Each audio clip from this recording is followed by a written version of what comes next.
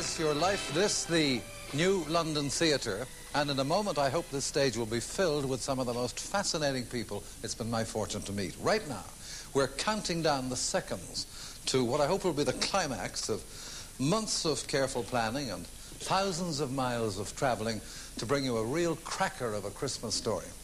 A story about someone who has been, not without justification, described as the most famous man on earth. Someone whose story has reached a milestone quite recently, a historic milestone, which is why he believes he's coming to a television studio to give an interview about it. Not to me, and not in front of an audience. But whatever happens next, I promise you it's the uh, most unpredictable Christmas I remember.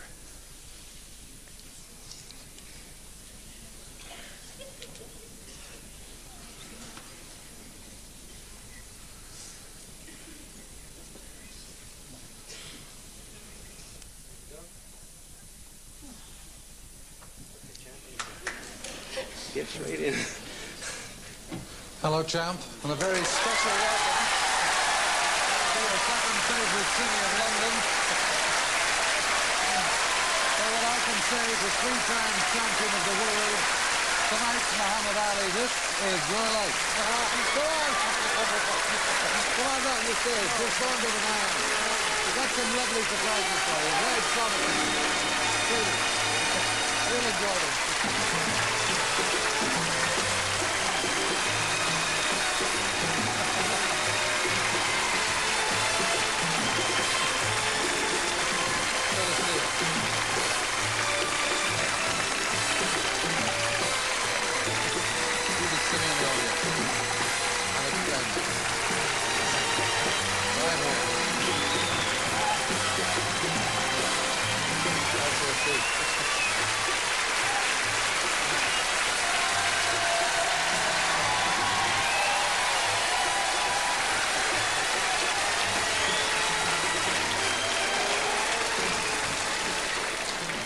I must say a very special thank you to your pal and mine, uh, boxing commentator Reg Gutteridge, for bringing you along here. He lied to me.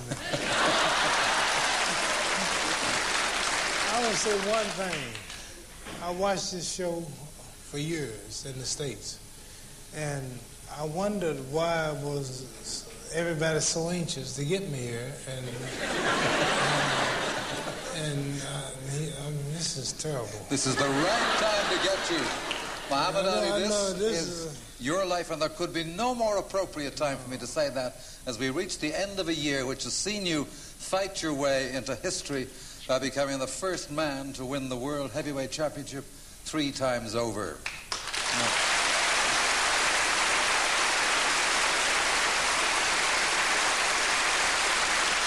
Now, you, you have fought in a total of 59 professional matches the world over, but for our next surprise, Mohammed, I want to remind you of a match which showed you No. a very uncharacteristic No, side. No. I Well, I didn't know at the time, but later you told me you were scared of me. Of course, your wife, Veronica.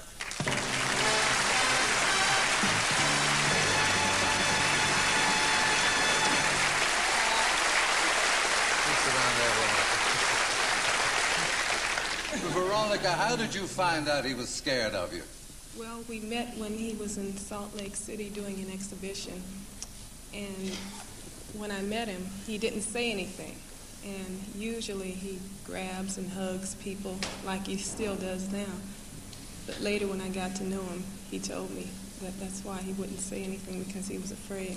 Well, it's not easy to contemplate a speechless Muhammad Ali because the fact that you're Beautiful women just frighten most men. The fact that you're as mercurial with your words as you are with your fists has made you one of the world's greatest box office stars. And if you look at that screen, we're going over five and a half thousand miles now to a city you know well, the bright lights of Las Vegas, where no star is shining quite so brightly as the one about to speak to you now from his dressing room at the world-famous Caesar's Palace. Your old pal, Britain's own Tom, Tom Jones. Hello, Eamonn. I must say I admire the, your guts for springing a surprise like this on uh, Muhammad Ali. Um, Muhammad I wonder if the This is surprise show. is as big as the one you got from Henry Cooper's left hand in 1963.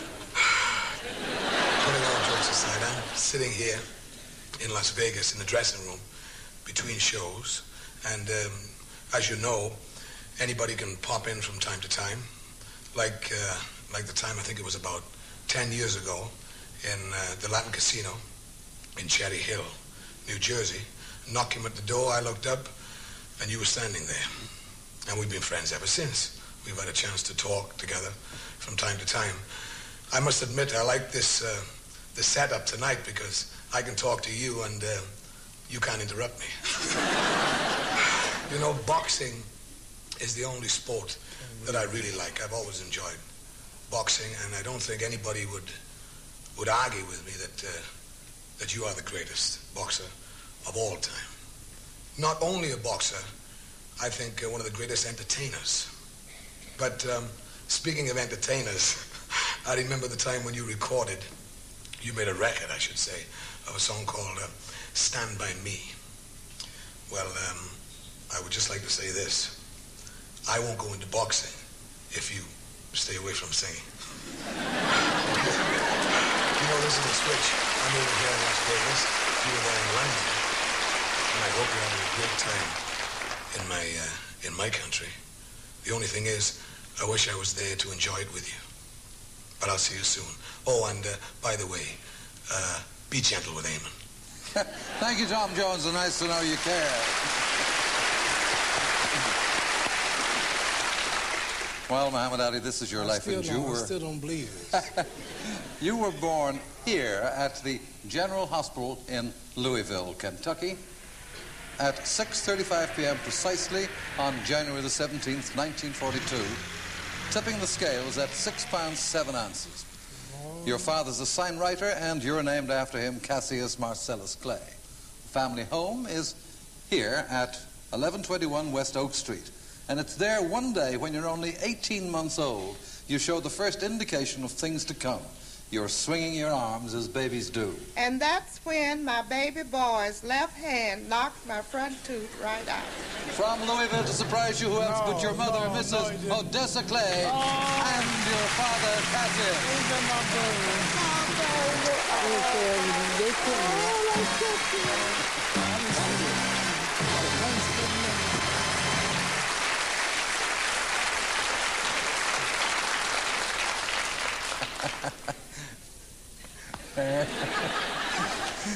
Odessa, how did you come? When did you get here? Uh, yes. Don't yes, answer any questions. okay. You tell me how you came to be the champ's first victim. Well, Ollie was always a large baby, and when he was a few months old, he looked like a miniature boxer. And when he was 18 months old, he was very strong and had big muscular arms. So one day he was swinging his arms like babies will do. I wasn't looking, and he hit me in the mouth and knocked a tooth out. and later I had to go to a dentist because it had loosened my other tooth. Cassius, I know his nickname for you is Cash, but what does he call his mother? Bird. Bird. Odessa, where does he get the bird Well, from? Ollie, Him. you know, Ollie used to always tell me, say, you have a small nose, just like a bird. So they call me Well, today, Mohammed, you must be one of the most photographed men in the world. But thanks to your oh. mother, we can show a rare picture of the future world champ, aged just two and a half. Sitting next to your baby brother, who's 18 months younger. And looking at that picture, you can recognize that we have beautiful parents. We've flown him from his home in Chicago, your brother Rahman Ali.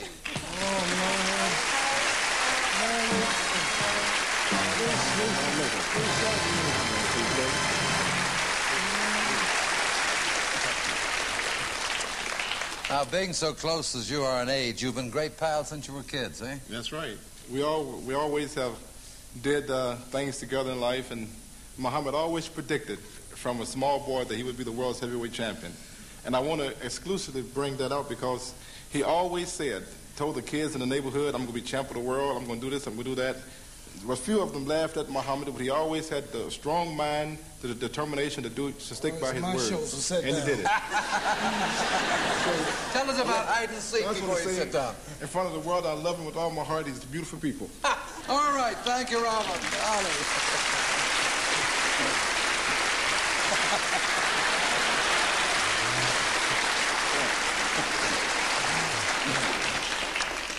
Well, Mohammed, I know that hometown of yours has a great place in your affections. Uh, Did which you is, all pay all the plane fares? Uh, yes, but we also hit the road to Louisville, if you look.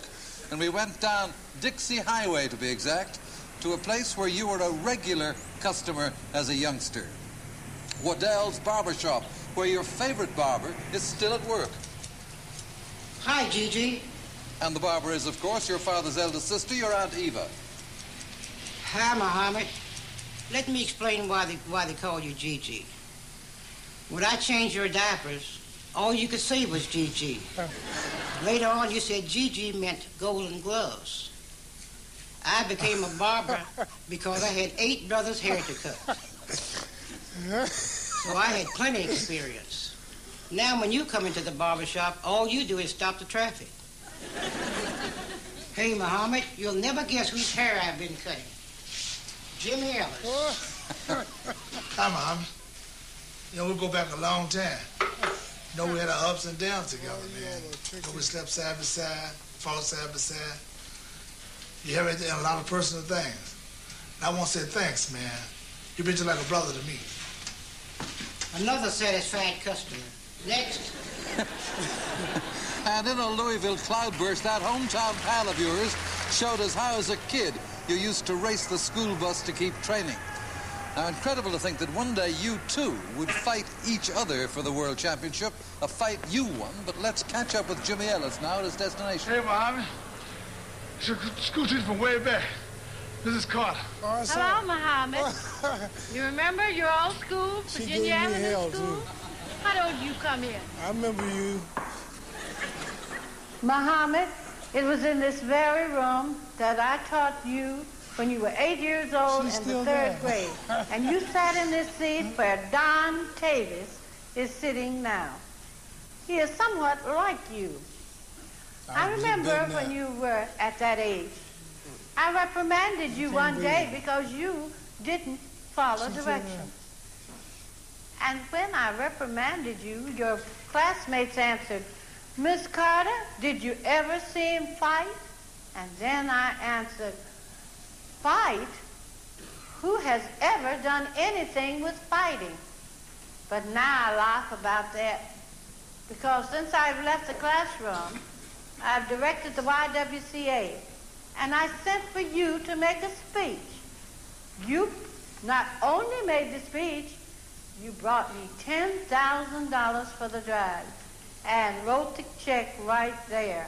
Now many boys and girls are happy because of the $10,000 that you gave. So fighting did do something for you. Muhammad, the kids have a message for you.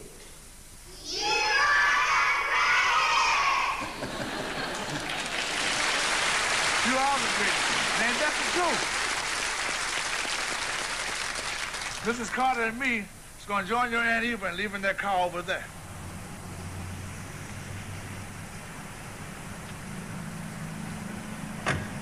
And boy, are you in for a shock. From Louisville Airport, they flew right here to London. Your Aunt Eva, your former schoolmistress, Mrs. Gladys Carter, Miss Carter. and just a little drier, your old pal, Jimmy Ellis.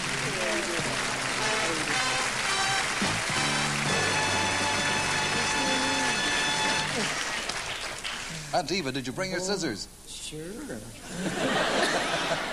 and he looks like he needs a haircut right now. I can't believe this. Well, now, Mohammed, as we've just seen, when it rains in Louisville, it pulls no punches. I didn't know you all could lie so much. Come on. Well, it was on a rainy day your boxing career started. You were 12 years old, and Cash, you just bought him a new bicycle, didn't you, for Christmas? That's right. A red bike with chrome f- finish uh, on white wall tires. He had got on it, starting at home. and uh, it had begun to rain. So he headed for the local bar, uh, bazaar, where, where they lo- where they were. Um, Just don't talk too long because we got time to. I got him to talk to him. See if he can start. Go well, on. which I want to hear about this. It was being held. It was being held indoor at Columbia Auditorium, where he had found some free Don't go too long. candy Yeah, and good. popcorn. Yeah, long show. Okay, so you look for your free candy and popcorn and you park your gleaming new bicycle at the door of the auditorium. But when the popcorn and the candy are finished, Mohammed, it's time to go That's when home. my talk has started, so I know it. What happened when you go to collect that bike, the pride of your young life? Huh? Where was your bike?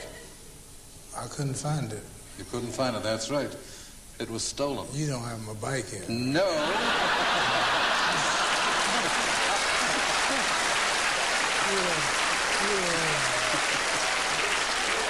I know. I But know you you did report the the, you did report the theft to a policeman. Joe Martin, he's not here either. Well, I know that you, you when you tell that policeman what you're going to do to whoever stole that treasured Christmas gift from your father. You said I'm going to whip him. And I said before that, you better learn to fight. Oh, that's Yes, that same policeman That's from a tape. 24 years He's ago, now retired Louisville police officer Joe Martin. Martin. Fred And also from Louisville, your great friend and boyhood trainer, Fred Stoner. Man. Well, now, Joe, he'd come to the right man to complain about his bike because in your spare time you ran a boxing gym in those days. That's true. And he was very enthused about boxing at that time. And I had a show on television every week, uh, amateur boxing, tomorrow's champions. And uh, it wasn't but a short time I put him on that show, and that was his first boxing match was on television. in I'll Louisville, tell you something funny. There you are, Muhammad. I have a picture of no, you. Uh, No, what? It's when you made your, you stepped in front of the cameras for the first time. Why'd what were you going to show tell me? that- Why'd you show that picture? no, he had a boxing show, and he was a trainer too. It was in those days the integration hadn't taken place, and black people didn't quite have the opportunity they got now. So he had the championship show, and he trained fighters more physically than he did. And I would always train at six o'clock at his gym and sneak his gym at eight o'clock to really learn about boxing. And then because in the Golden Gloves, a lot of his boys would beat his boys, and I thought he was the better trainer, so I would sneak down and learn how to do. He taught me the jabs, he taught me hooks, and both of them together made me who I am today. Fred, tell me. So now, now, so, so since you surprised me, I must tell you the surprise. I never told you this, but I always sneak to his gym. See, because he had the complexion and the connection to get the protection. Fred Stoner, if he let you get a word in edgeways, will you tell me why is it you think the champ here has managed to keep his boyhood good looks? Well, in the early parts of his training, we concentrated on teaching him how to not stand still and be hit, to keep moving in and out, and to right and left. And, uh, well, look at him. He's, it's paid off. And he's still a threat. But tell me now, what, tell me, Joe, uh, Ali was asking me, you didn't manage to find the bicycle, did you? I can't believe Never it. have found it yet, but we will eventually. Thank you very much, Joe Martin and Fred Stoner.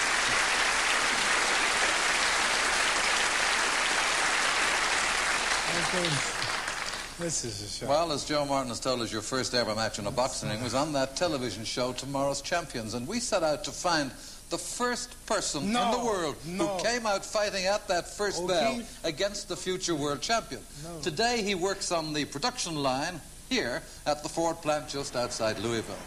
And of all the millions of words written and spoken about your opponents, we were amazed to find no one had ever before asked your very first opponent first his opponent. memory of that day 24 years ago, but he recalls it now. As you said, you remembered his name, Ronnie O'Keefe. Hello, Muhammad. Is that you? Remember that day I first stepped in the ring with you you? ugly. It was your first fight. It oh, My was my God. first fight. And Is also that happened to be my last fight. You were 12 years old. You weighed 88 pounds. I was 14, and I weighed one pound is that less. We went three rounds. You won by a split decision. But I like to tell my coworkers here, that makes me better than Norton or Foreman and all the rest. You put them to sleep. It walked me up to the fact that in the fight game, I'd never be in the same league with you.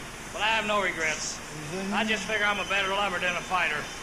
Everybody's gone here, so I think I'd do the same. See you, champ. And see we will to shake your hand again for the first time in 24 years. No. We've flown him tonight. He's here. Ronnie O'Keefe. Oh, man.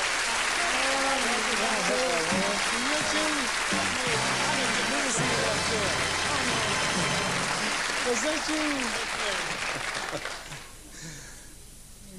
Boy, boy, time fly. We done got old.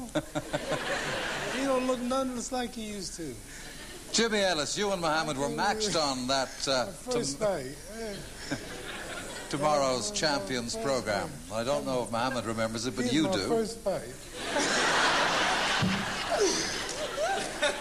That made you famous too, didn't it?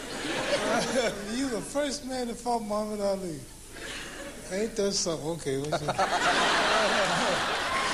Thank you, sir. we were just talking, uh, Jimmy and I actually, about that program, sharp. Tomorrow's Champions. And the two of you were matched for a purse of four dollars each, Jimmy, but the fight never took place. Why was that? Oh, because uh, at that time uh, I didn't weigh enough, and so he came over to me and said, "Man, we just lost four dollars because you're too skinny." I said, "No, we just lost four dollars because you're too fat." Well done. Well, constant training and sheer determination to be You the don't have best no more put you high in the amateur championships as a teenager, winning six Kentucky Golden Gloves championships and two National Golden Gloves finals. And one day, nearly 20 years ago, you read in the newspapers that one of America's top fight trainers is visiting Louisville. When high school's over for the day, age just 17, you dash to the hotel no, where he's he staying and telephone his room from the lobby. And you said, I got to talk to you on account of going to be the next heavyweight champion of the world. Today, his name's inseparable from yours, that legendary figure of the fight game, your trainer and great friend. We've flown him from Miami, Angelo Dundee.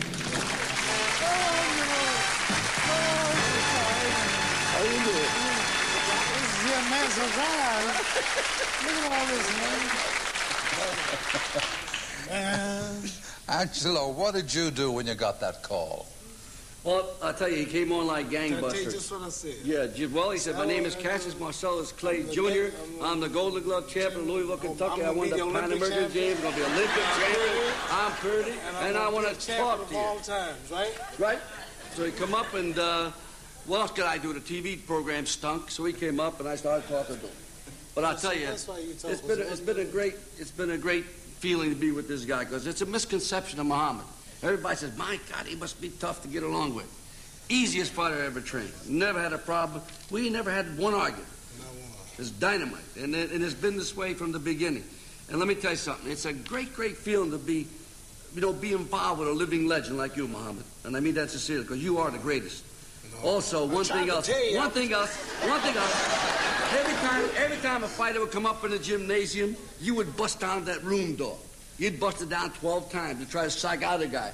Do me a favor, buy me a door for Christmas. Thank you, Angelo Dundee.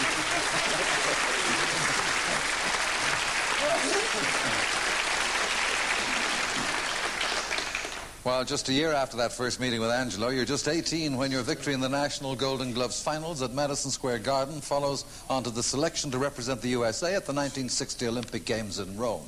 But Joe Martin, what's this we hear about him being, getting scared?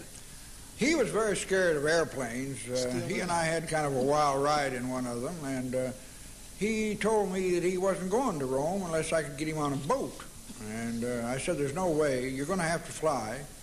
So he and I went out to Central Park and sat on the bench for about two hours and talked to him about it. And I was convinced that he would be Olympic champion. And I also told him, I said, I think you can be world champion sometime, but you've got to go through the Olympics. You've got to have that exposure. Well, he did, And and your international into boxing career takes off on August 1960 when you step in the ring for the final battle for the gold medal. Your opponent is Poland's uh, No, Zbigniew he ain't. Pietrzykowski. He didn't go to Poland. And I was lucky enough to be the commentator. Oh, well, what a boxer this Clay is. For 18 years of age, the size of him, we're going to hear a lot more of this young man, I'd say.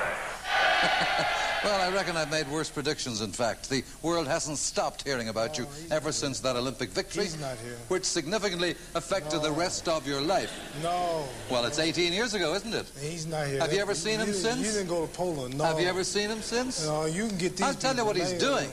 He's passing on the kind of experience he learned the hard way fighting you, because he's now one of Poland's national boxing coaches. No. He was And we've phone. flown him from his home near Krakow, Ziggy Pietrzykowski. No, man!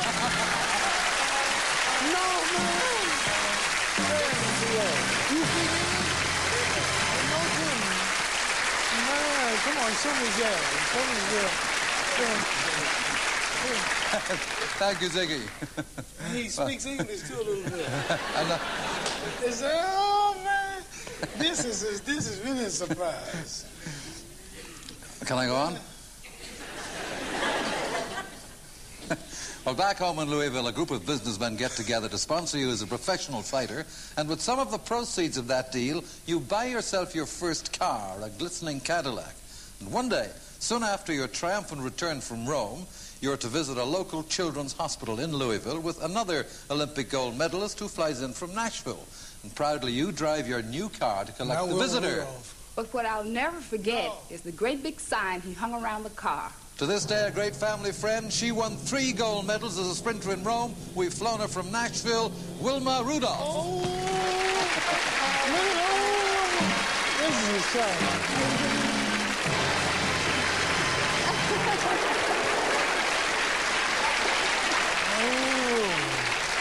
Wilma, Ain't she pretty? Look at Wilma. Wilma, what was that huge sign he'd hung around his Cadillac? Well, the huge sign was Olympic champions. And uh, we drove around Louisville, Kentucky, and on the car was Wilma Rudolph and Cassius Clay, and he was yelling out the window, "We are the Olympic champions!" But I think it was all just show. You know, I agree with Veronica. He's quite bashful.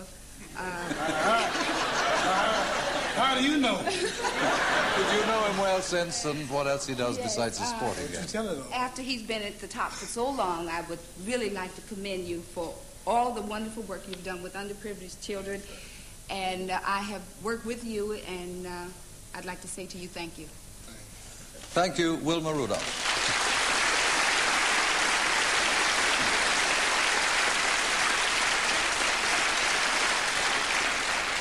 Well, This ain't real. just four years after turning professional, you I fulfilled the. say one thing. Yes, sir.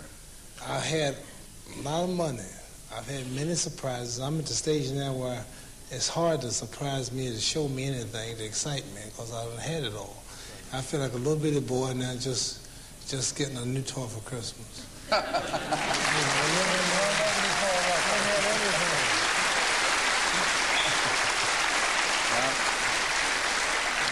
This is the only thing that could really shock me is something like this. Well, let me just go on and tell you that that uh, youthful prophecy you gave Angelo Dundee there in that Louisville hotel room nearly 20 years ago, you fulfill it, of course. The date, February the 25th, 1964, and this is how you took the world heavyweight crown from the reigning champion, the late Sonny Liston.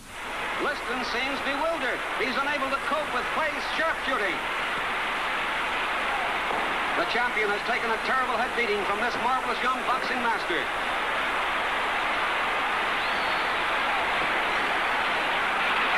As round six ends, Liston moves very wearily to his corner. Pandemonium has broken loose. Sonny Liston has not come out for round seven. The ecstatic new champion, Cassius Clay, Well, Muhammad, that inimitable style of yours has challenged the descriptive talents of writers and commentators the world over. But a phrase you'll always be remembered by came from an unexpected source. I still say it to this day, champ. He floats like a butterfly and he stings like a bee. He's been in your corner for 14 years and 44 fights, floating in from New York, Drew Bundini Brown. Oh,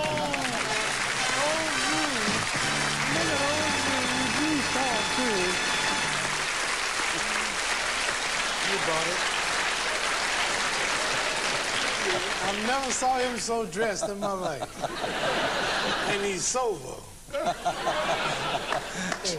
Drew Bundini, what was what was the moment that inspired that phrase that became so famous that it even became a song?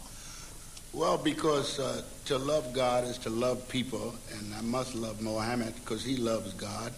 And all great fighters had uh, nicknames like the Brown Bomber, Joe Louis, Rocky Marciano, The Rock, Sugar Ray Robinson, Sugar, Smoking Joe, Joe Frazier. And he was doing road work, and I was talking to God as I do, not with my mouth, but with my mind. And I was asking God, what was his nickname? And it, the feeling came to me, call him the way it is. float like a butterfly and sting like a bee. but Bundini, you made a mistake, didn't you, when the champion first interviewed you for a, a job in his corner? Yes, I call him a phony because I was with the great Sugar Ray Robinson for seven years, and I never heard of anyone in sports or anything predicting anything but God saying when it's going to do, the weather or anything like that. And he said that he called around. So I said he was a phony. But then he said to me, he got up off the couch and he looked me dead in the eyes. He said, I work hard and I train and I pray hard.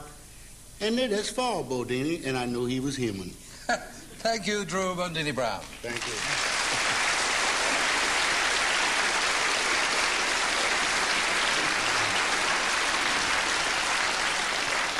Well, Muhammad, you've a, a, lot of tactical secrets for inside the ring, but outside the ring, we didn't know you had a secret call sign. It goes like this.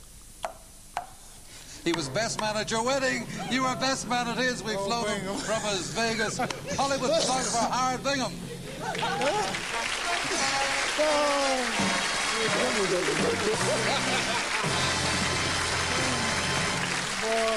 Howard, what's this? Uh... No, it's like this, you know.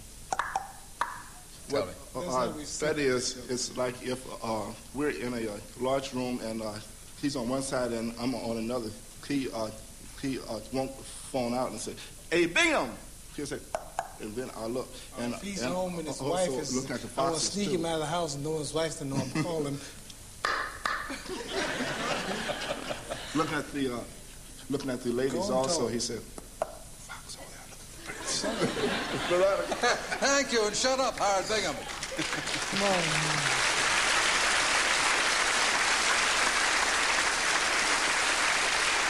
Well, in 1966, you travelled to London to defend your world championship against the reigning British and European champion, who'd given you something to remember him by in your first meeting in 1963, as Tom Jones mentioned earlier. Now you meet again at Highbury, London, three years later on May the 21st. And there was no chance of his missing this rematch tonight. Britain's own former champion, Henry Cooper. No.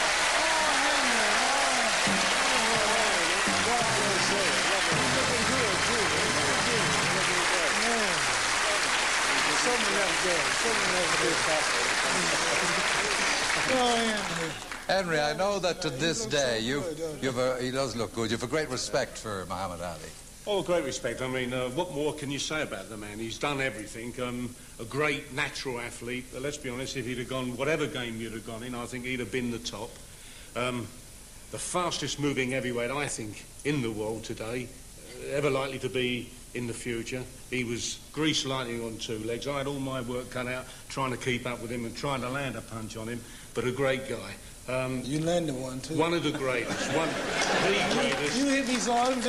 You, I never told you this. Well, I'm retired he retired. Oh. You hit me so hard, you jarred my kin folks in Africa.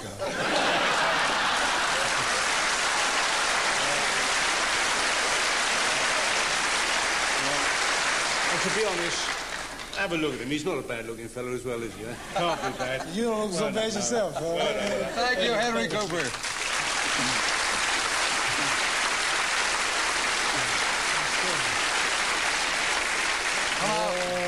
The, the, night after that fight, Please. I had the pleasure of talking to you on another show where my other guests included uh, Dudley Moore and the late Sir Noel Coward, who found out you packed a conversational punch too. By then you'd become a member of the Islamic faith, and of course it changed your name, and it made it clear you were no longer to be called Cassius Clay. Then this happened. Let's let's have a word about the fight last night, Cassius. Um, Muhammad. Muhammad, I'm sorry. I didn't do that deliberately. Is that me? That's you. We both. I'm glad he smiled when he said that. You know my name, boy. Don't worry, I can up here, boy.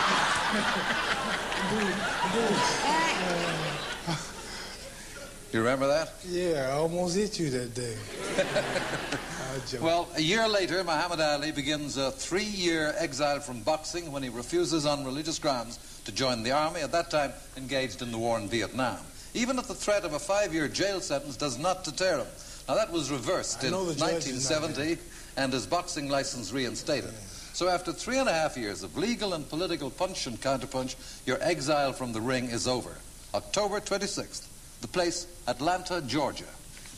And world headlines proclaim that Muhammad Ali is back in action as you fight your way back to the title you'd set your heart on as a youngster. Jerry Quarry is hurt. And Ali is asking the referee to stop the bout. Ali puts a jab on the mouth,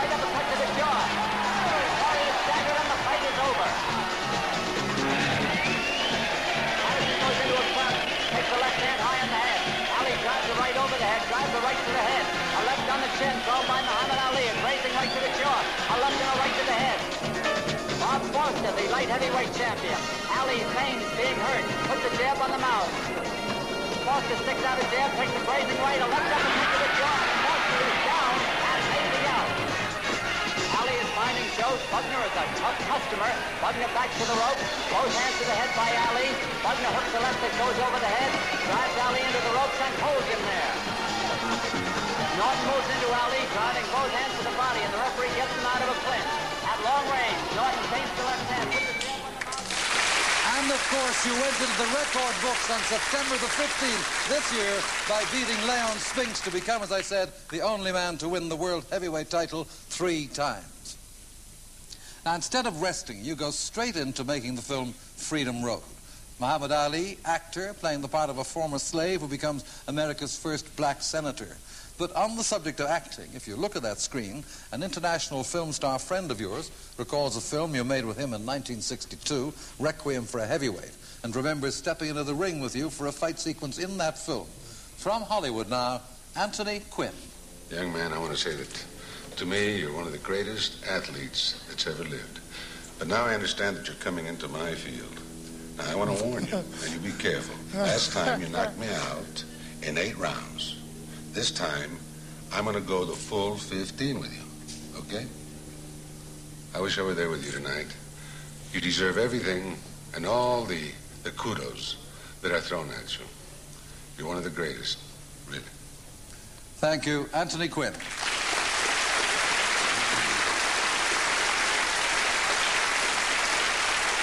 Well, champ, not many people have gone the full 15 rounds with you, but before we close, I'd like to remind you of someone who has. Just as he promised he would one August day in 1970, during your exile from the ring, when he gave you a lift in a car from Philadelphia to New York, and when he pulls up on 42nd Street, a crowd starts to gather. And I said, hey, man, you better get out of my No, car. Not Joe people might think you and I are good pals. No, it You've described him as the fighter you most admire, your old adversary. We've flown him from No, not Philadelphia. Joe Frazier. Smoking Joe. Joe, Joe Frazier. Joe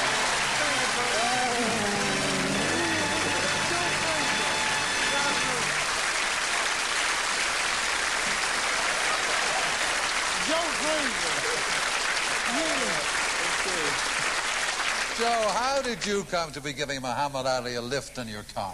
Well, number one, I had a chance to move around in Philadelphia, and I went to one of the hotels, and uh, I promised to give him a ride to uh, New York City that day.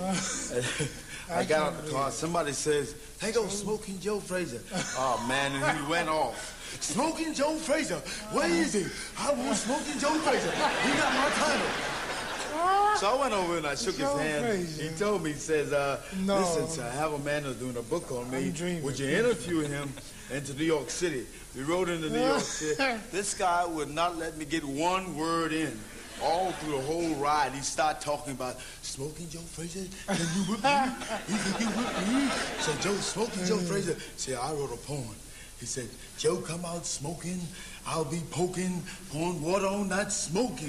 he said, I might amaze you. I will be tired smoking Joe Frazier. all, all through the whole time in New York, Oh, from Philadelphia to New York City, I had to go through that noise all the way. What did you do? So I had a chance. To, we got into New York City, 42nd. And, He slapped me. and, uh, 42nd and Broadway, and somebody messed around and saw him and myself, and he went off again.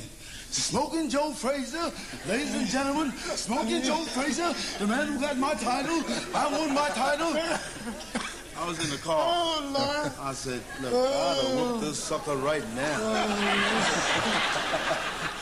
So after, after a while, he got back in the car and kind of cooled down some. I said, hey, man, cool it off. You know what I mean? So he said, a song. He started singing. he started singing. he started, Oh, I can't believe it. I'm telling you. Ladies and gentlemen, I'm almost a gonna great guy. soon. I would say we love him. He's a fine champion. Oh, Lord. Congratulations. So Frazier. Thank you, Joe. Joe Frazier. Joe Frazier. I'll say one thing. I might see how you got the other people. How did you get Joe Frazier here?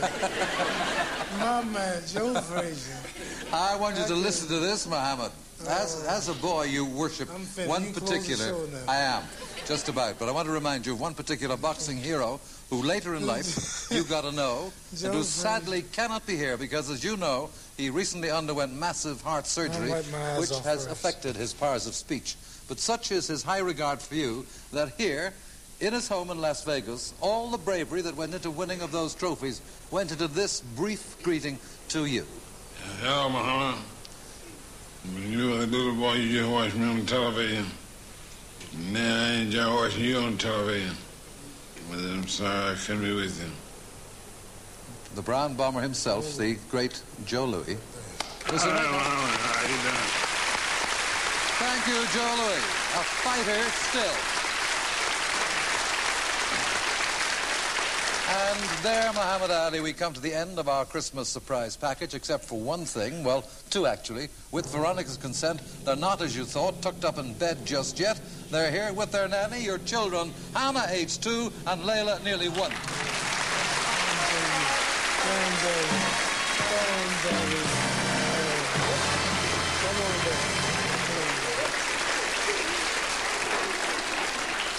Well, to the greatest, I know they're the greatest. Muhammad Ali, three times heavyweight champion of the world. They win This every day. is your life. Thank you.